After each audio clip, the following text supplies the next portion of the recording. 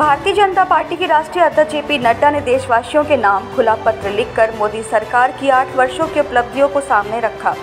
इसके साथ ही vote bank तुष्टिकरण की राजनीति करने का आरोप लगा, विरोधी दलों पर तीखा निशाना भी साधा। उन्होंने देशवासियों के नाम अपने खुले पत्र में आगे की सोचने दो हज़ार सैंतालीस में भारत के लिए योजना तैयार करने का अपील भी किया। उन्होंने देशवासियों से इसे लेकर योजना बनाने की गुजारिश भी की। कि जब हम दो में स्वतंत्रता के 100 वर्ष पूरे करेंगे तो देश कैसा होगा? राष्ट्र निर्माण की प्रक्रिया में देश के युवाओं के सक्रिय योगदान की भी मांग करते हुए उन्होंने कहा कि भारत के युवा अवसर चाहते हैं, न कि बाधा।